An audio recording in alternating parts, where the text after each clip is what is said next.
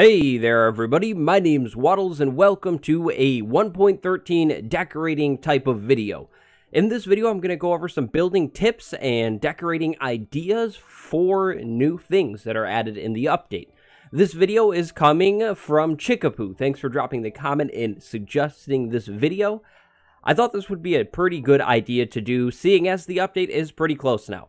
Now, I've done a few of these videos in the past, so I'm trying to not repeat ideas, but some of these ideas have definitely been in other videos that are more focused, such as a video on stripped wood or something like that. So I think I have about 10 ideas, and then go leave me an 11th one down in the comments below. So, idea number one for decorating or building in 1.13 once this update comes out.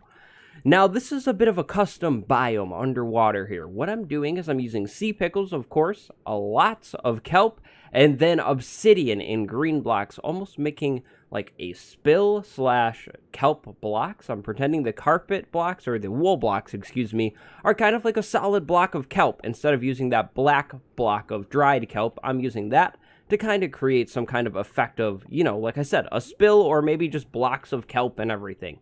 Now, you can take slime blocks and throw them under the water too, but the problem is, is you get this effect on the side, so I prefer to bury them in there, and then I'm using these magma blocks for just a little bit of extra detailing in here. This is going to be a big thing once the update comes out in terms of water decoration. If you use these bubble columns, meaning the magma block or the soul sand block for decorating, you're already off to a good start because the particle effect is really nice looking and it just adds something to whatever you're doing. Let's say we have just kind of like an empty sea over here in the darkness, and we throw in some of these blocks, it's going to start to decorate this area a little bit. Even though we can barely see it over there, we do have some bubble effects going on. I mean, we can't even see the bubble effects, but it will be a thing once 1.13 comes out to decorate with these water streams a little bit. Now, it's up to you if you want to be pulled down or pushed up. Totally up to you. It's all the same effect, and it just looks cool, especially when you have a lot more stuff going on and you get the bubbles in there. Now, Sea Pickles. Aside from being the best weapon in the game, Sea Pickles are an interesting block. They're lighting. So what I went and did over here is made a bit of a custom beach. I took this beach that was already existing and just expanded it out. Then, to get some cool lighting going on, I put sea pickles everywhere. I put these little holes with sea pickles in them. So this is obviously pretty easy to do. You just need a water bucket and uh, some sea pickles. You just put it down wherever you want. And you can play with lighting. You can do all four and get the really bright one, or you can do like the lower ones if you want, whatever you're thinking. But this is kind of a creative lighting idea for something along water. So some kind of shoreline somewhere, a beach maybe. I think this could work out really nicely. And then you can kind of expand it into the ocean a little bit just to get the light kind of spreading out and slowly like dissipating, if you will, instead of just ending at the shore. Then what I went ahead and did is I just took sand and kind of expanded the shoreline just a little bit, kind of just trying to make it a little bit more interesting, just to spruce up the world. But sea pickles could be used like this pretty much anywhere, and then you could do the classic little carpet trick and take some green carpet or something like that if you're in a field and throw it right over like that. And it's just another way to do lighting. Now, you will not fall through it. You'll get that little noise instead. Don't know if you can hear that, but there's a little a little noise, but you won't fall through it, so that could totally work instead of say like jack-o'-lanterns or something. See if we do it right over there. There you go. And there you go, just like that. So sea pickles could be used for lighting up whatever you want, maybe making a cool custom beach.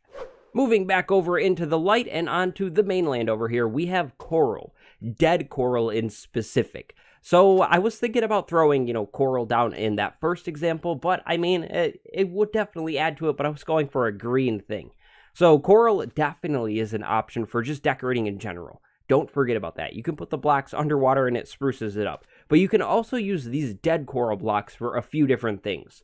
Right here, I was making a bit of a castle wall, kind of just alternating with patterns. If you were going to do this, I would suggest to stick to one or two, not like every other one is a different one. It was just kind of an example. Or you could make some kind of cool floor.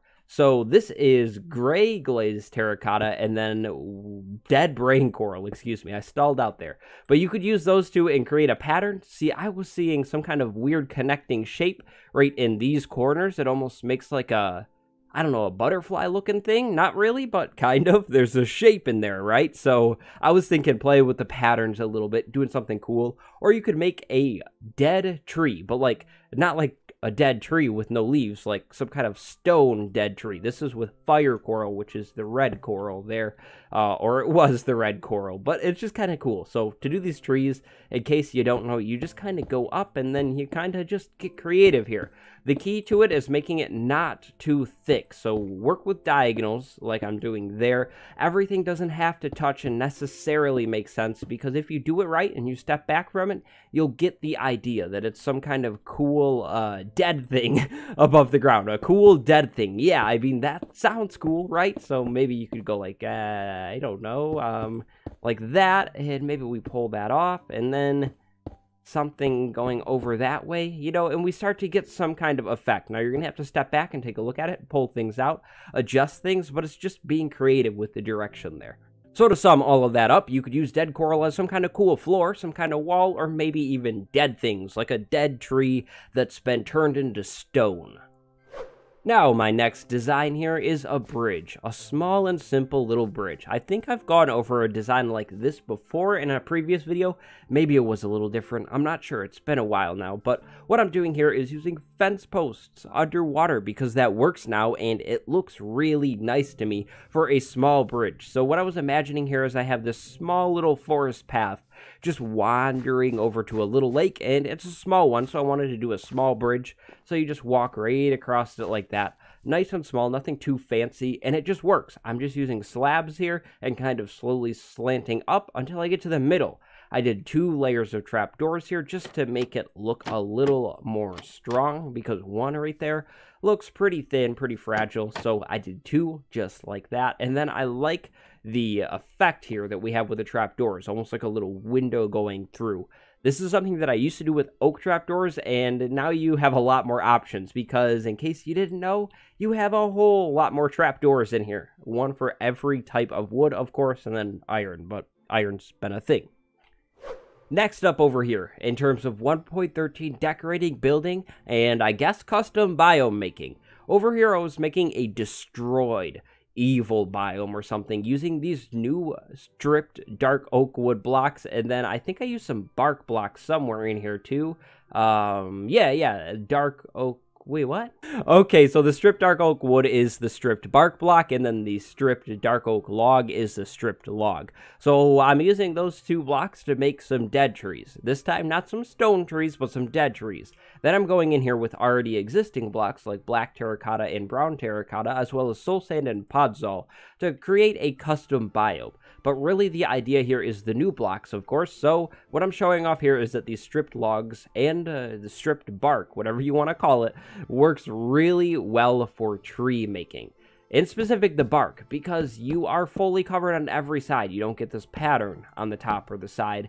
Uh, so I really like to use this bark block for making these trees and that kind of stuff. I think it's a really good use of them because, again, you don't see this texture which kind of ruins it sometimes. You can hide it like that and it all blends together pretty nicely. So I don't know, it's up to you, whatever you want to do, but you could definitely make some dead trees with these things. Now, bonus points if you want to go ahead and throw leaves on them. I like birch leaves because they're pretty thin. You could maybe make some clumps of leaves somewhere on these things, like maybe we clump this branch here with some leaves like it's still alive a little bit, like it's a dying tree. It's not fully dead. I don't know this is kind of up to you, and it's just kind of placing leaves randomly, stepping back and saying, eh, yeah, I like that, or uh, no, that looks really weird. So it's kind of all up to you here on this one, and if you want to go ahead and add on leaves, try not to make it too square. Something like that I think looks really nicely, or looks really good, excuse me, and then you can make some leaves hanging down maybe. I don't know. It's all up to your imagination and your personal taste. Now over here in this Creeper's lab, we're using the new dried kelp block as a wall. Now in a previous video, I used this stuff as a floor because it looks pretty cool. It's got its own little pattern going on and I, I think it's nice. But if you use it on the wall, it doesn't have the cross uh, across the side. So it's just a line upwards and I think it makes a really nice wallpaper in here. Honestly, I like this better on the wall than I do on the floor because it has the texture going horizontal and then it has the lines going up and down just like that that makes it look like I said like a wallpaper. Then I went in here and just kind of threw some stuff, for example, pretending it's a house. And then we have a little uh, sea pickle uh, container in the side. Maybe they're growing sea pickles. It's a scientist or something. Who knows? But I really like this block as a wall or a wallpaper. I could see this really working well inside, like maybe a hotel if you're building it and you want different walls, maybe different wall styles, something like that. But I think this is really cool for a wall.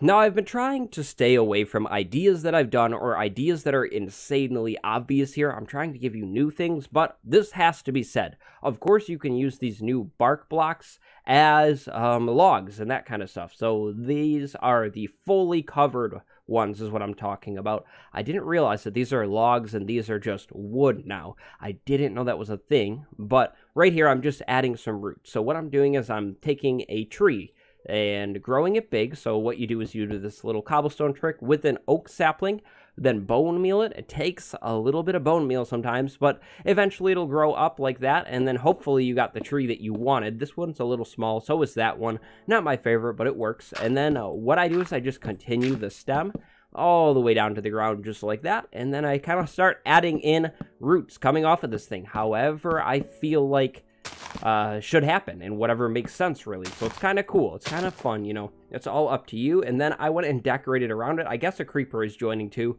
I, I mean, it, it looks nice, right? That's a nice looking little area, a screenshot for sure. But I've decorated around it to make it look a little more normal because I've realized that if you just do this whole stem thing and then you walk away from it, like let's say I left it like this or something, that just looks weird. So if you go in and add bushes and flowers and other plants around it, it makes it look a whole lot and more normal and nice. Now you could also take stripped spruce wood in terms of oak wood and use the that as roots too because it matches so well. And then you could even take slabs of spruce wood and stuff to make angles, but I don't really like to do that personally. But it's just an idea here for you to use, maybe making some custom trees in a foresty road or something in your world. This is a quick one, but I thought this was really cool. What I'm doing here is I'm taking bark blocks, or you could do this with uh, stripped logs as well, and just varying which way they're facing. So, for example, on this row right here, we added another row. I took uh, stripped birch wood first, and then I went ahead and uh, went like this, so it was going up and down, if you will. Then I take uh, stripped oak wood logs and go the other way. So it kind of creates this little weaving thing or this like odd visual illusion I'm getting, like depth or something in there. I think it's just cool looking. If you pick woods that are similar, like uh, spruce and um, dark oak, that might work well too. Of course, if you try and use acacia, it's going to be a little different, but I'm sure it'll work on a on a different uh, scale, if you will. But I just think it's really cool, and it makes this like weaving looking thing. Now that's a pretty costly floor though, so don't know if that's what you're gonna do, but it does look kind of cool. So it's an idea for you to use, maybe in creative mode. Now, swinging around over here, we have a building tip, a wall building tip, two of them in one, kind of. First is the trapdoors. You could use these new trapdoors as your different block along the bottom. Let's say you usually use cobblestone down here along the bottom, and you're kind of tired of doing the same old, same old, like a line of cobble like that. I mean, it looks cool, right? But like, you want to switch it up, you could take trapdoors. In particular, I like these spruce ones. These are my favorite new trapdoors, and do something like that on the bottom instead.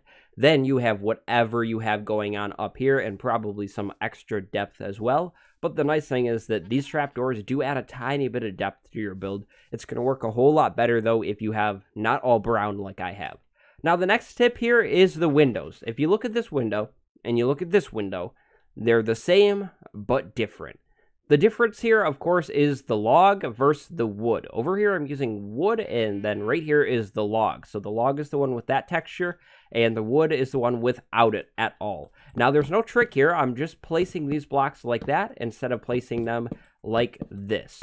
The whole idea is that this stripped wood makes a better window than this one does. Because of course you could turn this, right? So you don't get those shapes, but then you have this weird intersection here in a sudden turn.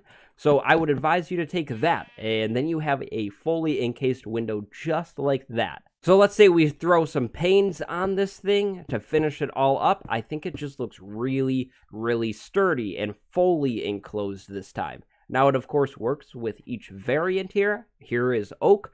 Again, it just looks a lot better than having to see these little uh, log tips. So all I'm doing here is I'm taking any kind of stripped log and I'm placing it in the up and down way, if that makes sense. And then I'm kind of just making a window out of it. So it's a little tricky until you figure it out. And then it's not tricky at all. But all I'm doing there is making sure all of these are going the same direction here and then we finish it off, and then boom, there you go. You have a fully enclosed window here.